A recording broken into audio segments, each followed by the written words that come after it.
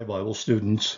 My name is Frank Abel, and on behalf of the Christadelphians, I would like to welcome you to view this, our fourth slideshow in the video series entitled The Isaiah Scroll Your Future Now. We have endeavored to show in previous videos that by the standards Yahweh set to determine whether a prophet was genuine, Isaiah certainly passed the test.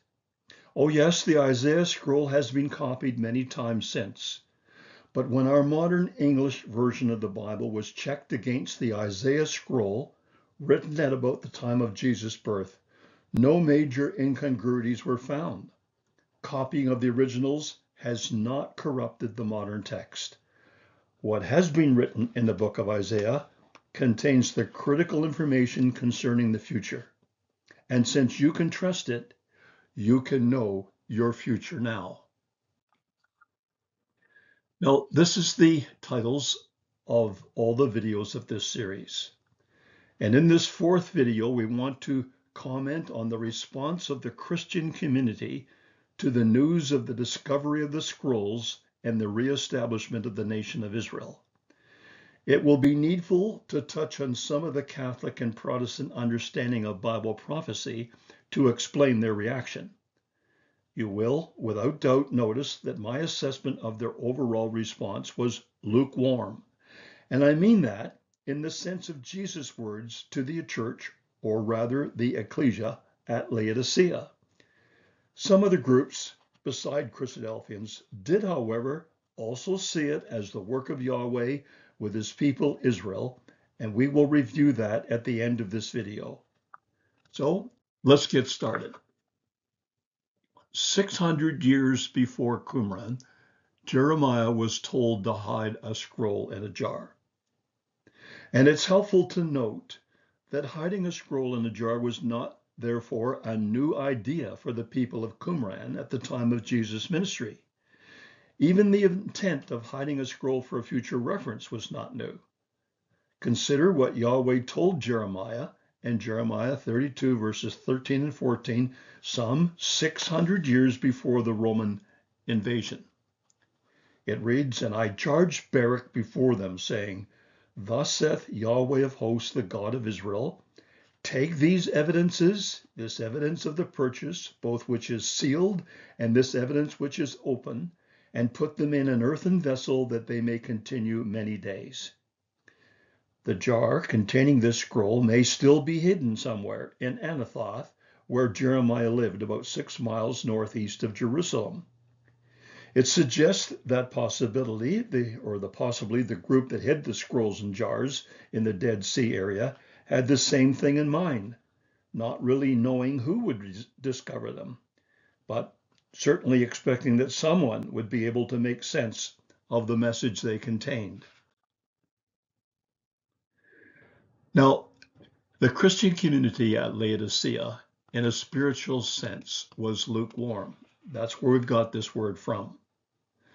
And we can see that if you look at the route there on the map, you will see uh, Ephesus in the uh, bottom left, then Smyrna, then Pergamos, then Thyatira, then Sardis, then Philadelphia, and then finally Laodicea. And that's the way they were written up in the uh, first couple chapters of the book of Revelation. So Jesus' words to the ecclesia at Laodicea give us a spiritual view of the word of the term lukewarm, as he stated in that uh, third chapter, verse 16. So then, because you are lukewarm and neither cold nor hot, I will vomit you out of my mouth. Now, there are times when we really welcome a cold drink as well as times when we are seeking something to warm us up. Lukewarm represents a process that created the conditions for something losing its original character of being hot, that is zealous, or being cool, that is being refreshing. Jesus' concern was that vital moral principles be kept sharp and not allowed to be blunted by the lack of attention. In our age and in our culture, being lukewarm is an apt description of Christian morality and its waning character throughout the world of Christendom. The Gentile nations lived in spiritual darkness. Well, for Bible students, that's not new information. At the time that Isaiah was living, about 700 BCE, the Jewish people were illuminated by the creator of life through their prophets. For them, it was a period of illumination, even though they didn't prosper in it. But the Gentiles who had no prophets that spoke for Yahweh, it was much worse, for they were in total darkness.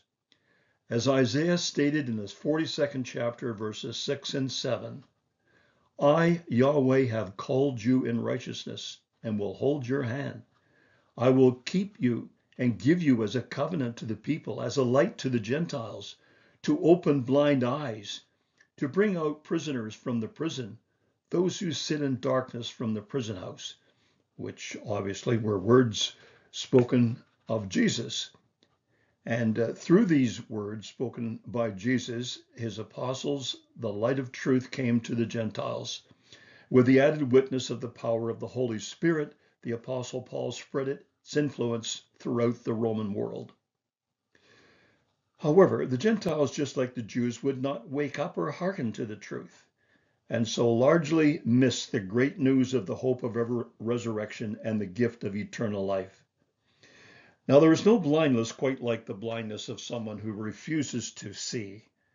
So the Gentiles have not prospered, even though the conditions were favorable. This is just how bad it was. This idea of without the gospel and people being without hope. Well, the message of the New Testament complemented that of Isaiah. The Apostle Paul warned the Ephesians in the second chapter, verses 11 and 12. Therefore, remember that you, once Gentiles in the flesh, who are called uncircumcision by that which is called circumcision, made in the flesh by hands, that at that time you were without Christ, being aliens from the commonwealth of Israel, strangers from the covenants of promise, having no hope and without God in the world. The Gentiles knew nothing about the hope, the covenants of promise, and as a result, they were living without hope and without God. But there were a few that did listen. The resurrection from the dead has always been a very um, wonderful aspect of the gospel uh, because it is the need that people have. The greatest need is that we die. Resurrection from the dead is, is great news. Well, what was the apostles' response or the uh, apostles' response that he got at Athens, a place of, of um, Gentile establishment for centuries of time when he spoke about the resurrection. Well, his experience was a good example of what happens when a brilliant light suddenly illuminates a place where, spiritually speaking, darkness always ruled. In the Acts of the Apostles, chapter 17, verses 32 and 34, we read, When they heard of the resurrection of the dead, some mocked, others said, We'll hear you again on this matter. So Paul departed from them. However, some men joined him and believed, among them Dionysius the Areopagite and a woman named Damaris and others with them. Some, yeah, mocked the hope of the resurrection. Some doubted and showed their preference for darkness. But a few, only a few, actually believed and were attracted to the apostles' teaching. And I think that's been the general experience of the gospel being preached throughout the Gentile world. And so when we look at Christendom at large, we might expect that the proportions are about the same as they were then. Now, lukewarmness is a sign of mental ambivalence. A number of commentators on the New Testament have made the observation that Jesus' evaluation of the seven ecclesias of Asia Minor generates not only a view of their spiritual condition at the time, but also a prophetic view of the history of Christianity. This view has some merit and would indicate that at the time before the second coming of Jesus Christ, even the true followers would be struggling to uphold its pristine qualities. Notice what Jesus says in Revelation 3, verses 14 to 16. And to the angel of the ecclesia of the Laodiceans write, These things says the Amen, the faithful and true witness, the beginning of the creation of God. I know your works, that you are neither cold nor hot. I could wish you were cold or hot. So then, because you are lukewarm and neither cold nor hot, I will vomit you out of my mouth. Now, we all know the repugnance that we naturally have ourselves for something that's lukewarm. But we may not have a feel for what Jesus means when he is referring to it as a spiritual condition. Words like uncommitted, faithless, disingenuous may give you a little help as to what he meant by lukewarm. But he goes on to say and link the terms mental, well, mental ambivalence for a lukewarmness and a need for eye salve. Jesus' rebuke and chastening of the ecclesia at Laodicea was a work of love, for without it they would not have remained on the path to everlasting life. So he says in chapter 3, verses 17 to 19, Because you say, I am rich, have become wealthy, and have need of nothing, and do not know that you are wretched, miserable, poor, blind, and naked, I counsel you to buy from me gold refined in the fire, that you may be rich, and white garments, that you may be clothed, and that the shame of your nakedness be not revealed. And anoint your eyes with eye salve, that you may see. As many as I love, I rebuke and chasten. Therefore, be zealous and repent. Now they were viewing the world improperly. Personal wealth and resources are of little importance spiritually. To be zealous meant they needed first to be more engaged in the work of understanding and the uh, that is the instruction of the Bible, and secondly to be more conscious of the example they were setting for others who were following them. But if they continued to be concentrating on worldly wealth, they could not keep up spiritually. Now, it's important to remember some of the principles that were established in the Old Testament. And I think the book of Proverbs is full of them. And here's one that I really love buy the truth and sell it not. That's a basic Bible principle, and it comes right from the book of Proverbs, chapter 23, verse 23. And it says, Buy the truth and do not sell it also wisdom and instruction and understanding. Buy it? Well, yeah, because something called the truth found in the Bible, and it's something that everyone needs. But it must never be sold? Well, why? Because when you sell something, you're willing to part with it. You've downgraded its value to you personally. And if it is the truth that you're downgrading in its value, you will be without a spiritual compass. And while traveling on the broad way, you will find that it really does lead to destruction. This book that was written by Dennis McCallum is a book for our age. It's the death of truth. It's a condition that is present in so many people and so many countries and so many cultures today we need to especially pay attention to this proverb buy the truth, don't sell it. Now, the gospel of this church was corrupted in the falling away apostasy. Yes, some people were very careless in the lifestyle they were leading, such that some may have thought they preferred darkness over light. For instead of staying with the gospel message first presented by the apostles, they corrupted it by falling away from the truth of the gospel and mixing it with old ideas of Gentile superstition. In his letter to the believers at Thessalonica, the apostle spelled it out in no uncertain terms, as is found in 2 Thessalonians chapter 2 verses 3 and 4, where he stated, "Let no one deceive you by any means, for that day will not come unless the falling away comes first, and the man of sin is revealed, the son of perdition, who opposes and exalts himself above all that is called God or that is worshipped, so that he sits as God in the temple of God, showing himself that he is God. Now, if the falling away comes before the return of the Lord Jesus Christ, we should be able to see this and recognize this church, this group that are falling away, as is specified here by the apostle. Christadelphians believe that the man of sin is referring to the Pope, the head of the Catholic Church, not just one individual in the history of that organization, but as there is always a man at the top of that church, so the one who becomes the next Pope becomes the next individual to be rightly labeled the man of sin. We are told that the Protestant Reformation began in Wittenberg, Germany on October 31, 1517, when Martin Luther, himself a Catholic, a teacher, and a monk, published a document that he called a disputation on the power of indulgences or 95 theses.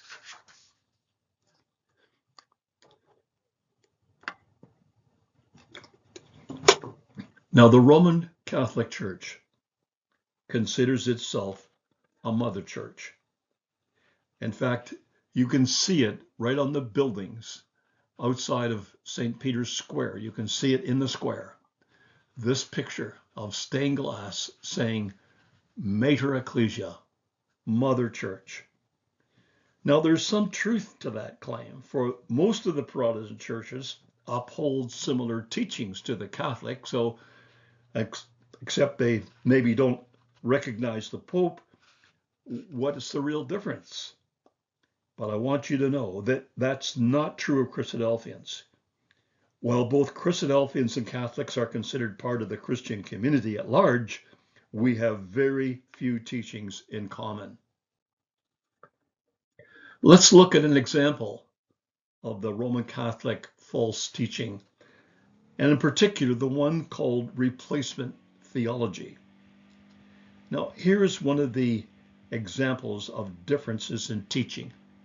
So we need to know the answer. What is replacement theology or supersessionism?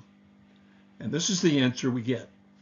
Replacement theology, also known as supersessionism, essentially teaches that the church has replaced Israel in God's plan. Adherents of replacement theology believe the Jews are no longer God's chosen people, and God does not have uh, specific plans for the nation of Israel. So you can see I got it off the internet, but I can assure you that's what it means. Well, as you can see, the replacement theology is justification used by people who believe that God has rejected the Jews. That belief, however, brings us right back to the scroll of Isaiah, as we shall see in a couple of slides. But it also illustrates why getting Christian teaching is right, that is, is so important and why Christians can easily get caught up in anti Semitic activities if they believe in replacement theology. So it's a departure from the truth. Now, I want you to see this we have a look at Roman Catholic Catholicism. We look at the Catechism. And this will help you to see why that church supports replacement theology. They say in number 82 in the Catholic Catechism, as a result, the church, to whom the transmission and interpretation of revelation is entrusted, does not derive her certainty about all revealed truths from the Holy Scriptures alone both scripture and tradition must be accepted and honored with equal sentiments of devotion and reverence. Well, that statement begs the question Does Yahweh, the God of the Bible, entrust the transmission and interpretation of his, of his revelation to a group that believes tradition must be accepted and honored with equal sentiments of devotion and reverence that God reveals to people? That's utterly nonsense. The Bible reader or writer Jude said in his book in chapter 1 verse 3 that it was diligent that he was very diligent rather to write to them of the common salvation and telling them to contend earnestly for the faith which was once delivered to the saints. He gave this instruction long before the Catholic Church was even thought of. The Bible testimony was complete, nothing needed to be added, and certainly nothing removed. Now, what are the results of replacement theology? Well, this is what the Catholic Church goes on to say. In number 762, the remote preparation for this gathering together of the people of God begins when he calls Abraham and promises that he will become the father of a great people. Its immediate preparation begins with Israel's election as the people of God. By this election, Israel is to be the sign of the future gathering of all nations. But the prophets accuse Israel of breaking the covenant and behaving like a prostitute. They announce a new and eternal covenant. Christ instituted this new covenant. Now, that's a real tangle of truth and error. What suggestion is there that God ever made any difference in his promises to Abraham that his descendants would be the means by which the blessing would come upon all nations. The fact that the prophets accuse the uh, nation of breaking God's covenant does not add up to there is now another covenant in replace of it. That's uh, just the thinking of the Catholic Church. That's the thinking of the councils and the the fathers of the Catholic Church as being of equal importance. Um, that doctrine does not wash with Scripture. But surprisingly, it's also believed by Jehovah's Witnesses. Now, the sect called Jehovah's Witnesses do not consider themselves as daughters of the Roman Church, but they are likewise duped by replacement theology, for they assert this to make known to the people that Jehovah is the true and almighty God. Therefore, we jo- joyfully embrace and take the name which the mouth of the Lord God has named, and we desire to be known and called by the name to wit, Jehovah's Witnesses. Their desire to be called Jehovah's Witnesses doesn't mean they have replaced Israel as God's witnesses, even though they quote it right there in Isaiah 43, verse 10 to 12. Now, Jehovah's Witnesses have been duped as well as to believe in, in the replacement uh, theology. Surely God says in that quote in Isaiah 43 to Israel, You are my witnesses. They weren't necessarily willing witnesses, but it didn't matter because even being unwilling witnesses, there were so many prophecies written of what would happen to them if they followed God's teaching and what would happen to them if they didn't, that it's all there. And all they do is fulfill it, whether they're willing or unwilling. So to see the nation of Israel as now having not having any special purpose in the sight of God and being blinded by their understanding of Scripture, groups like the G- JWs would not have seen anything spiritually unusual about the events that happened on November 29th, 1947. Like, what would they make of it? They didn't expect anything further of God related to Israel. No, it must have just gone over their heads. Now, I'd like to just make a comment or two about the scholars. I don't consider myself a scholar. I consider myself a Bible student. God will determine whether or not any ladder or really advancement into scholarship was uh, contained in my life and the life of others. But this is what people who like to call themselves scholars have to say. Now, this man, Allegro, wrote this book, you can see off to the right there, The Dead Sea Scrolls and the Christian Myth. And this is what he said he suggested that traditional Christianity developed through a literal misinterpretation of symbolic narratives found in the scrolls by writers who did not understand the minds of the Essenes.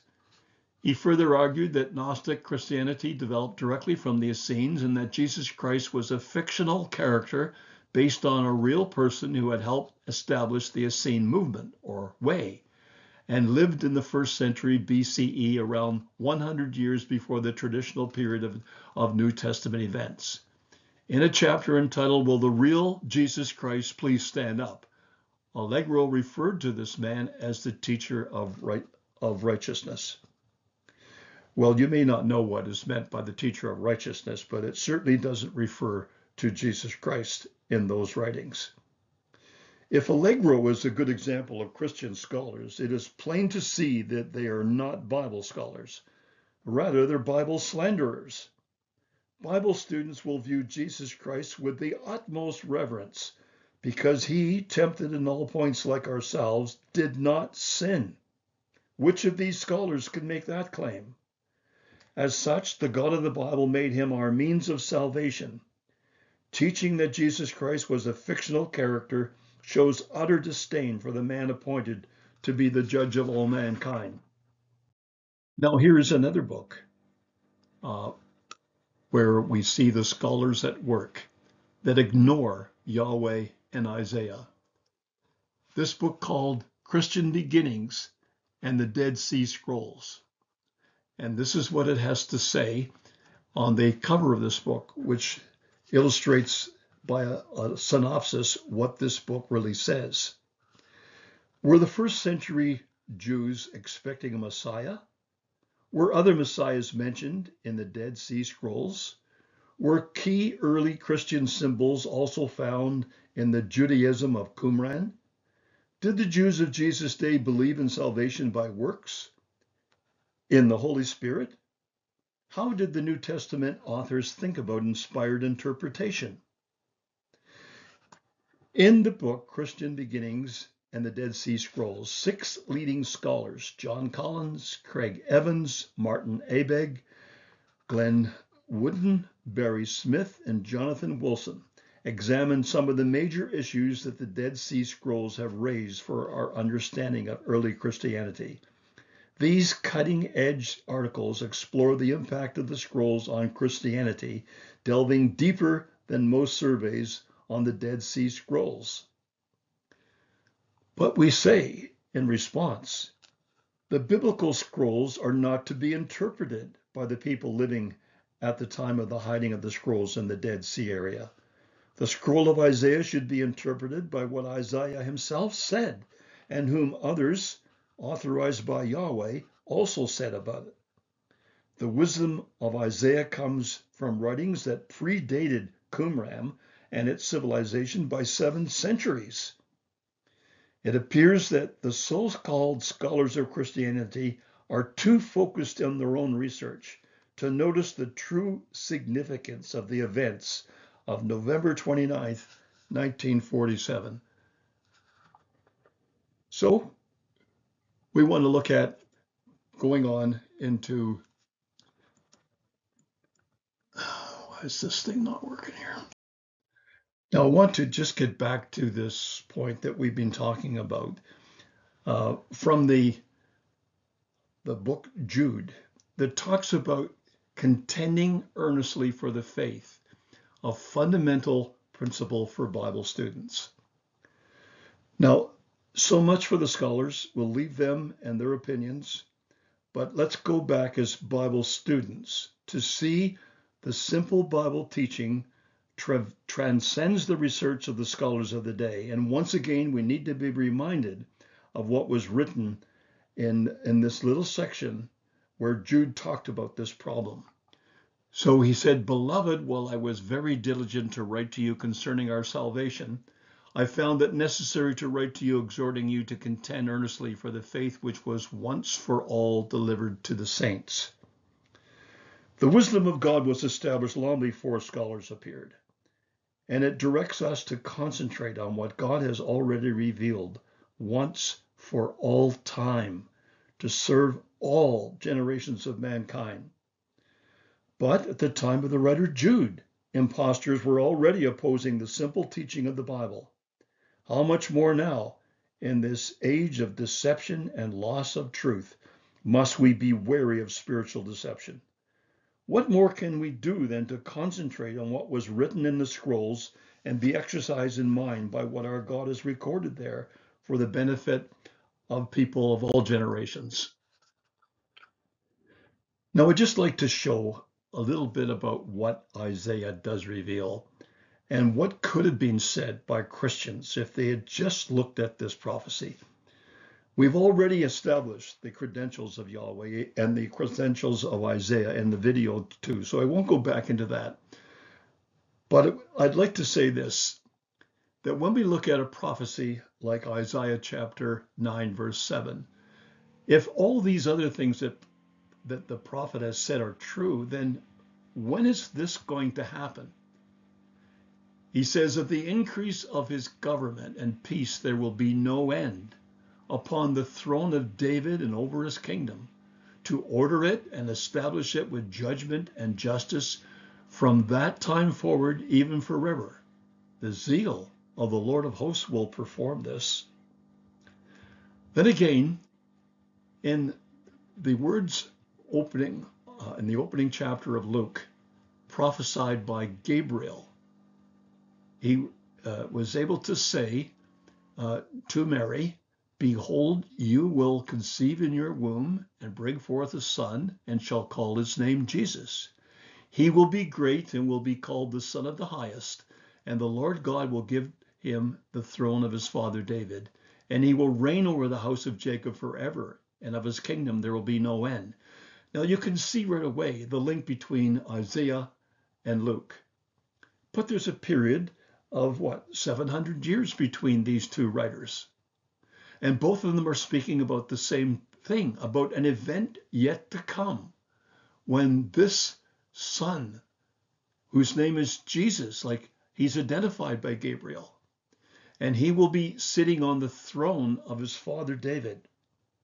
How could hundreds of millions of Christians that subscribe to replacement theology miss this?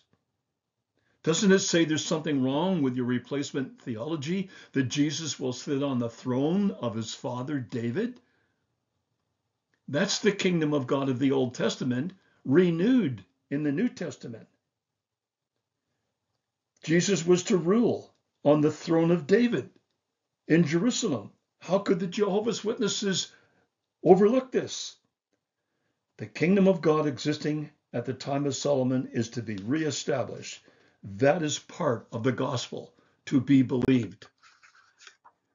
Now, this shows you to what extent people will go to try to overthrow the, the evidence established by the Dead Sea Scrolls and the reliability of the Isaiah scroll. And I found this just by happenstance in the year 2006, reading the Toronto Star, and I was reading the religious page, and I noticed that it had something on here about the Dead Sea Scrolls. And this was a challenge to the authenticity of the scrolls.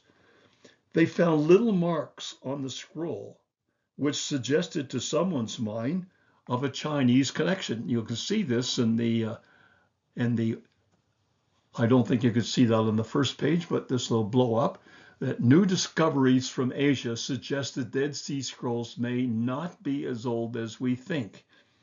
And the reason for that was they found little marks. Now these little marks could be seen. I saw them myself. I'm looking at the a copy of the scroll they found. And it was hard to ascertain what they were. They, they, they looked like scroll, but someone thought maybe they are Chinese letters.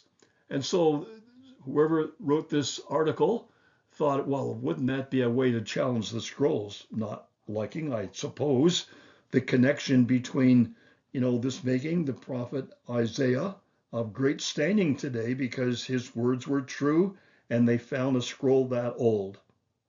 But were they Chinese letters? That would mean that someone had to get those scrolls out of that cave mark these little prints on them for what reason, put them back in, make it look like they were never opened up, and then someone find them. For what reason? That's the length people have gone to try to discredit God's word. But I think there's lovely things that can be said.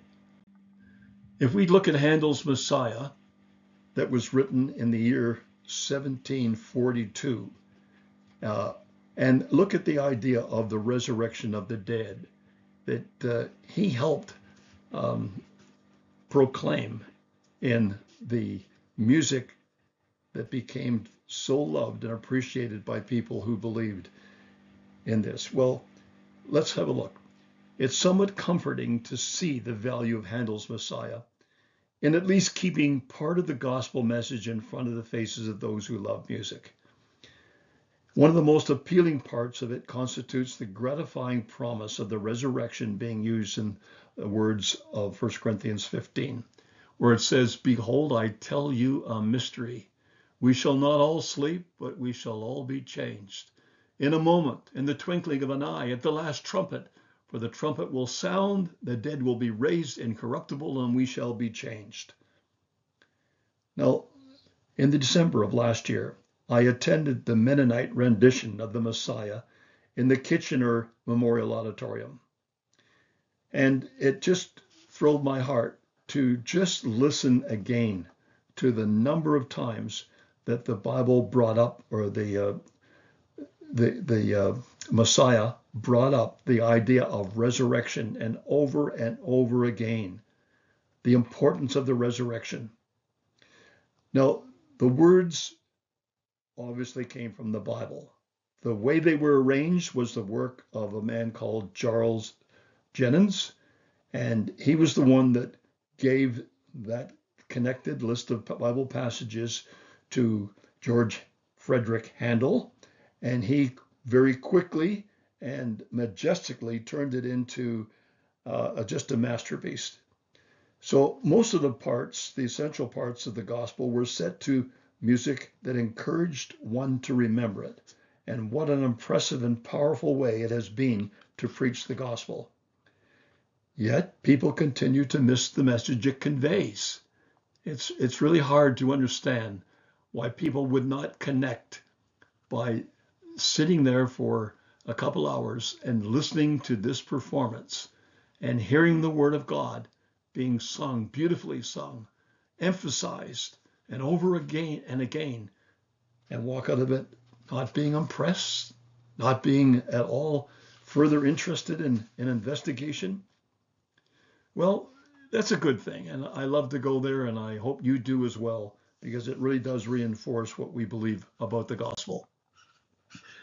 Now, here's an important um, event of modern history the American Protestants and the advent of Christian Zionism.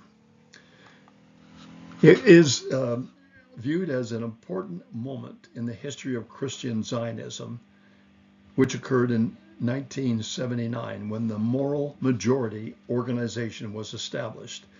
It was founded by a, American Baptist pastor Jerry Falwell and was made up of conservative Christian political committees who succeeded in mobilizing like minded people to vote for conservative candidates of the Republican Party. The source of the article I am reading from is cited at the bottom of the slide. It has shown how this sizable group of Americans have been influenced by Bible teaching to recognize the divine linkage between the Jewish people and some segments of the Christian community. The article went on to say, with nearly 6 million members, the moral majority became a powerful voting bloc during the 1980s and was responsible for Ronald Reagan's victory in the 1980 election. One of the moral majority's four founding principles was support for Israel and the Jewish people everywhere. Now, we need to be aware of the teachings of groups who have some similar beliefs to us. Christian Zionism has similar political or biblical views, rather, on Israel and Christian morals. But if you investigate further, they are very different in other fundamental areas, just as we have, as a community, had many debates with the Baptist Church on what the Bible really teaches.